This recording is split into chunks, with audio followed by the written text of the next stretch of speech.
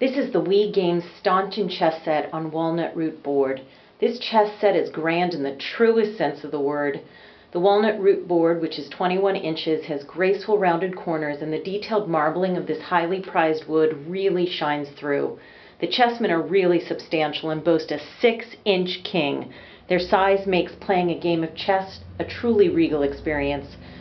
The chessmen have felt bottoms and glide beautifully across this board. It's the kind of chess set that you would display. It would be the focal point in any game room or a well-appointed family room. Really stunning and classic.